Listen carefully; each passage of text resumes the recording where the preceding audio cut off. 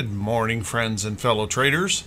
This is Doug Campbell with Right Way Options, and this is the morning market prep video for April 6th, 2023. Well, yesterday turned out to be a straight up chop fest as we we got some uh, ADP data on jobs that showed private payrolls falling pretty substantially. We saw the services uh, PMI services sector um, shrinking pretty substantially. And that left the market really kind of thinking, hmm, what comes next? Are we, with our economy kind of slowing down and that possibility of recession or waiting on the next round of earnings, we just kind of didn't know what to do with ourselves yesterday and just ended up chopping around. Now, what does that mean for today? Well, how about we settle in and let's buckle up. Let's get ready for the Thursday edition of the Morning Market Prep video.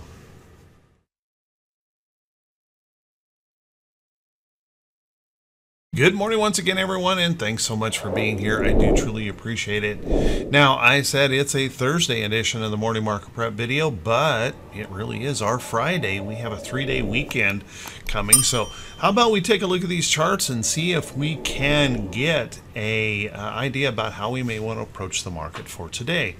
Well, no big surprises here yesterday with just a, um, you know, a lot of just chopping around, um, relatively low volume on the day. And as you can see, as we rallied up into resistance here, um, we just kind of stuck right there.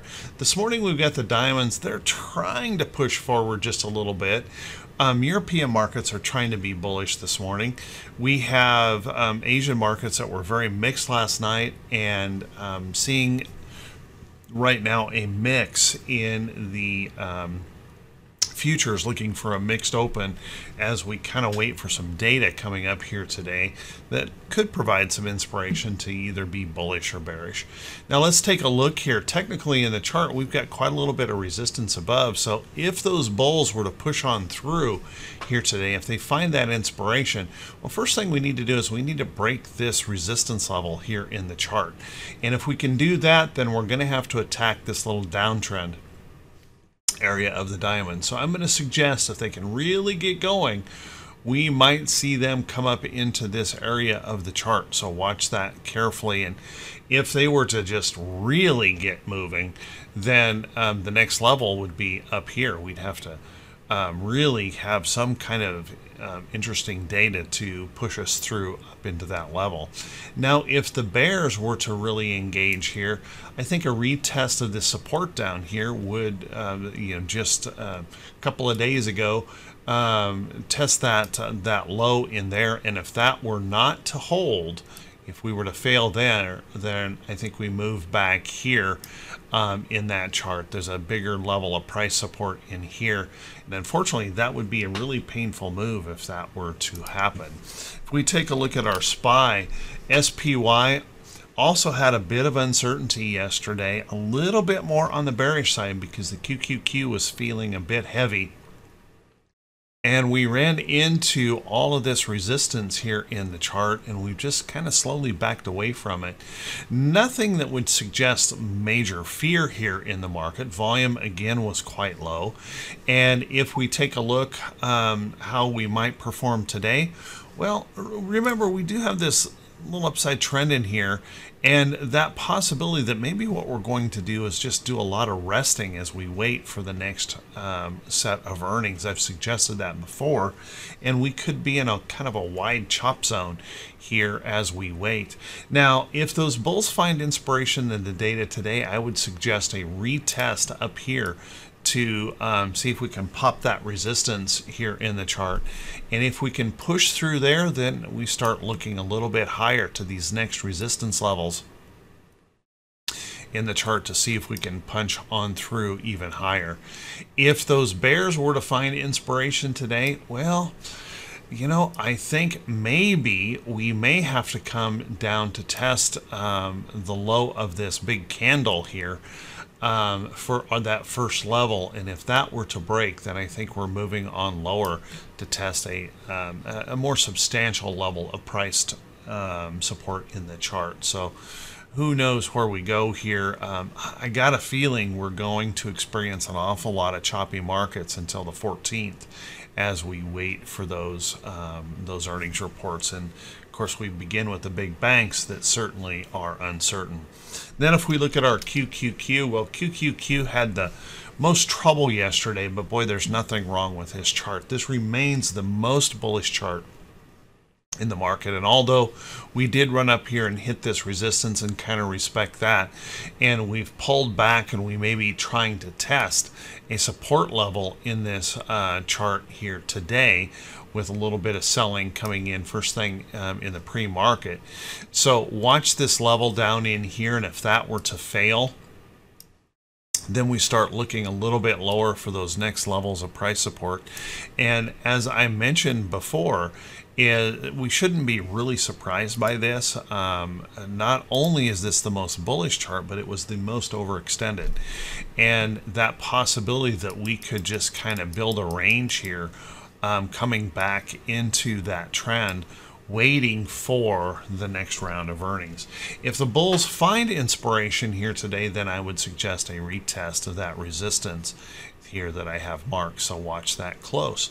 And then if we look at our IWM, well, IWM remains the most bearish market out there certainly showed a little bit of pressure yesterday, and we ended up closing just below this big bearish downtrend break um, that brought in a lot of hope. So just kind of closed that down just below there, maybe raising some uncertainties um, in that chart. And remembering price patterns usually suggest when we make lower highs, the, the real possibility is a uh, lower low could be coming in the IWM. Now, of course, we could just retest this support here because this is a pretty solid support and bounce right off of there um, and, and not make a lower low, but that's something we do have to consider on the price pattern. Now, looking in here, you can see we've got a little bit of bullishness trying to push this up here in the pre-market. We may be trying to hang on and hold in here but it's not so much um, to really suggest that um, that's a for sure thing. It, anything is possible by the open of the day, remembering that we've got some economic data coming our way today that could inspire either the bulls or bears. So watch that one. Then if we take a look at our VIX, boy, our VIX VIX is awfully perplexing here. Certainly, there is lots of uncertainty out there. You probably saw the reports that we have record inflows into money market funds. Folks are moving massive amounts of money into money market funds to reduce the risk um, in their accounts. And well, at the same time, we're seeing the VIX is saying, yeah, there's no fear here at all. Now, I don't know. Uh, this seems to be acting very, very oddly here to me um, with the uncertainties that we see in the market. But that being said, if we can find some bullish action here in the market, we may drop right below that price support here, suggesting that um, nobody nobody's worried. Um, doesn't seem to be the case when we see record outflows um, or record inflows, I should say, into money market funds. So um, take that for what it is. Um, uh, kind of some uncertainty uh, about what's going on. Um, if those uh, bears were to engage, well, then look for this area in here is a place for a bounce. But what we've seen lately, it, it really doesn't it really doesn't matter. Um, we don't we're not getting much price action out of the VIX, and I don't quite understand what's happening here. If we take a look at our um, T2122, now the T2122 indicator did have just a little bit of price action in it that pulled us back toward that mid-range again. We bounced around in here a lot yesterday. Um, so we're kind of around this mid-range in the chart. So remember, T2122 does not tell us what direction the market's going to move. What it does is it tells us where those pressure points when we reach overbought or oversold conditions in the market. So if those bulls can find inspiration today, well, we've opened up a pretty good opportunity for those bulls to push if there's something in there that can get them going. But if the bears find inspiration today, just keep in mind there is also a pretty good size potential for a downside move if we find uh, that inspiration. It is entirely possible that we can just try to straddle the fence here and and wait um, uh, for um, some data or be thinking about that three day weekend and just seeing volumes declining pretty sharply. So, um, kind of keep that in mind. If we take a look at our T2107, well, T2107 declined just a little bit yesterday, but I don't think there was anything in this chart that would suggest, you know, um, terrible bearishness or, or, or major concerns Certainly, we're following that trend, but we have found some price support in here yesterday. We kind of held on in here. Um, we've got 42% of our stocks holding above their 40 or 200-day moving average. If this were to get much worse and we were to break down through some of these levels, then maybe some fear will come up in the market. But for now, um, I don't see anything in here that should create a whole lot of panic. T2108, very much the same thing. This is the percentage of stocks holding above the 40 day. 31, 32% of the stocks holding above their, their 40 day moving average.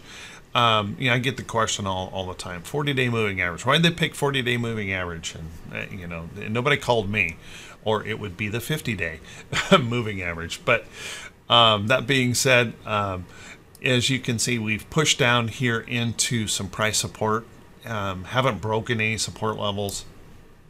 I don't think there's any major concern there. Clearly, we have been respecting this downtrend and we've got resistance above. So we seem to just be a little bit stuck here um, at the moment. And I think it's understandable with the uncertainty of earnings um, on the 14th kicking off and everybody wondering what's going to happen. So watch watch that one. Then let's take a look at our T2101 well T2101 continues to show us that that momentum that we saw that pushed the markets up so strongly is kind of diminished and we're respecting that resistance level in the chart. We're just kind of drifting um, around here waiting for some kind of inspiration to get us moving. And of course we saw those charts, just lots and lots of um, light volume trading here as we chopped around. So I think we just have um, we have that uncertainty that's just making people nervous. Um, they're not sure what to think about, what to do. And um, when we look at our economic calendar, um, there is some reason to maybe have a, even a little bit of an extra dose of uncertainty heading into this three day weekend. First off, let's talk about what we've got this morning. We're going to get those jobless claims this morning. And so far um, this week, we've seen the job open Openings report declined pretty sharply. We've seen ADP private payroll numbers decline pretty sharply. So maybe we're starting to see those jobless claims really start to pick up and increase. Now, remember, that's what the Fed wants to see. So it is possible a bad, uh, you know, bad number for people out there if the jobs really start, claims really start coming up then that would be a good thing for the Fed. And we might honestly see that as a bullish sign here today. So watch carefully for that. Um, we have James Bullard out there speaking. He, he uh, used to be considered kind of the most um, hawkish. Um, of the Fed members. Now I think um, that title goes to Mester, who says uh, we're going to 5%. We're going to stay there for a while. We'll see what um, um, uh, James Bullard has to say here at 10. We've got a natural gas report, unlikely to move the market much. We've got some bond auctions and then the Fed balance sheet later on. Um, I think, you know, once we get through this, everyone's going to be kind of thinking about this number. They're going to be thinking about that employment situation number and how to position themselves um, with the market being closed on Friday and that number coming out.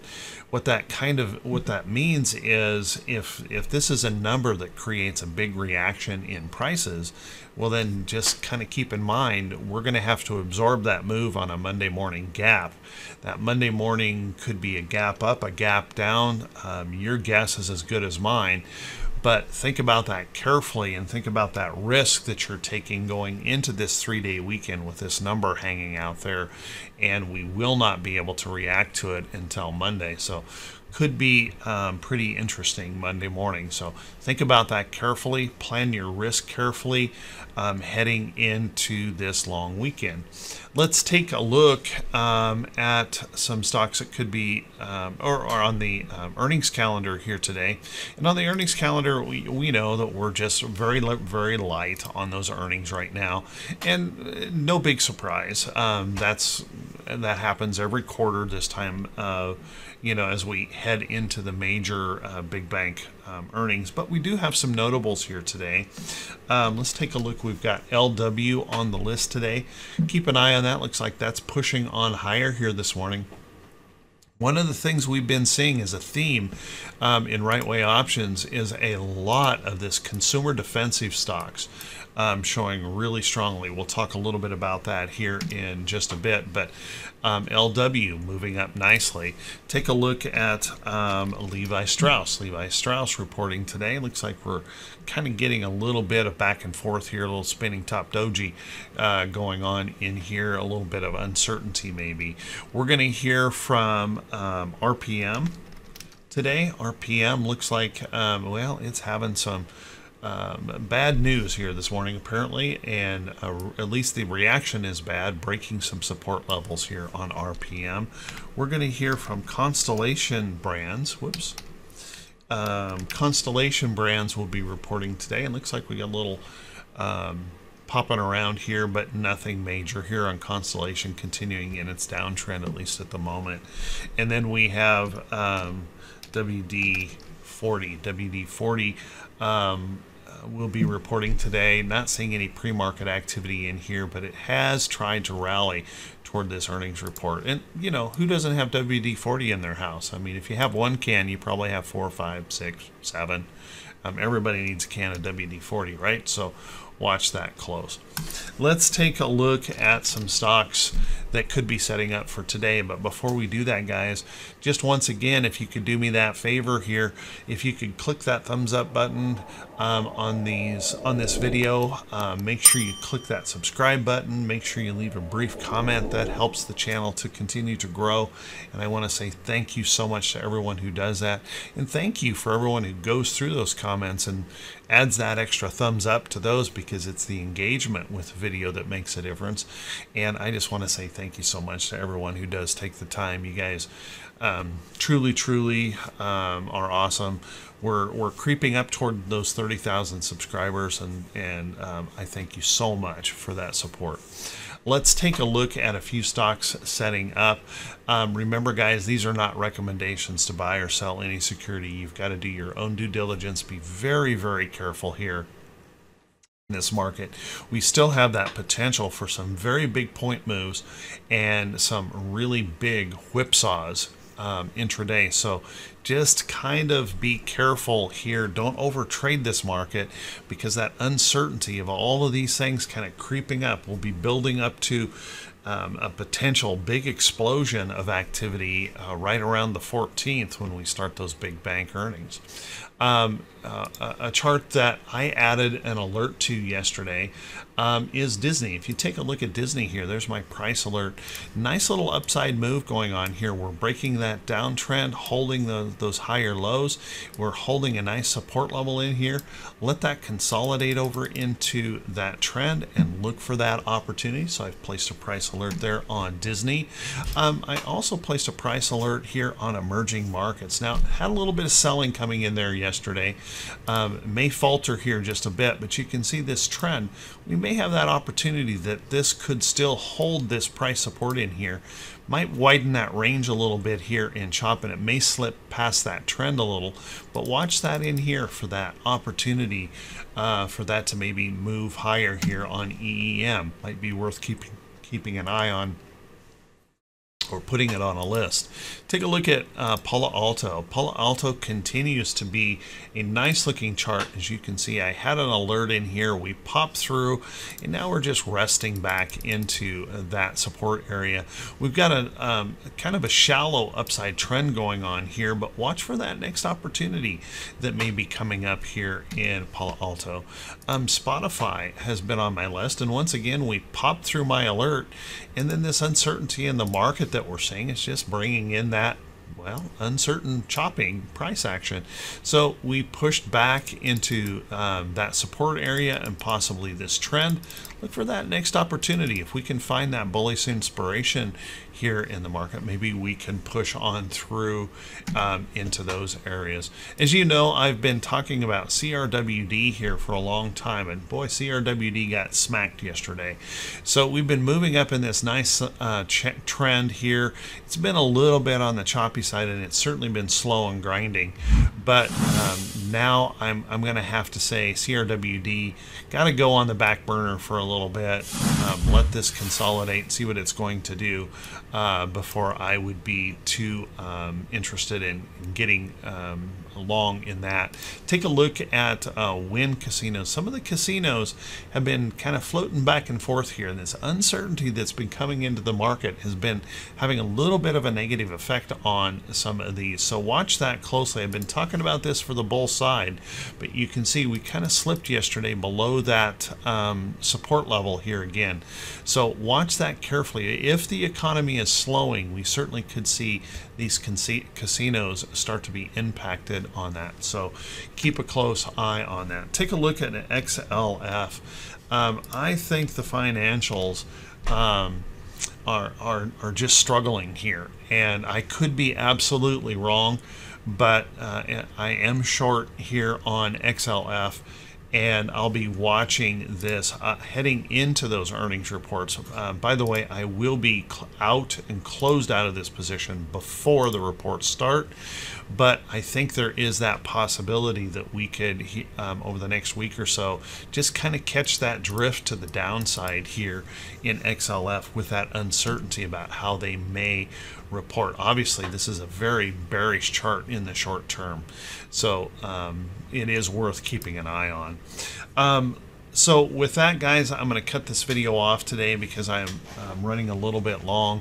Hey i want to wish you all a fantastic day in your trading and more importantly a wonderful weekend. Um, obviously this holiday is here for a reason. If um, if you are um, a believer out there, this is a very important holiday for you.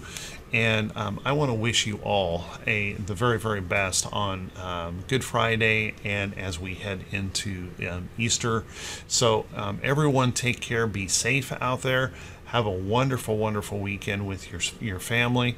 Um, market will be here when we get back on Monday morning, and probably be just as um, just as challenging for a while um, as we approach that um, those earnings events. So, um, want to wish you all the best and see you bright and early Monday morning. Thanks, everyone. Take care.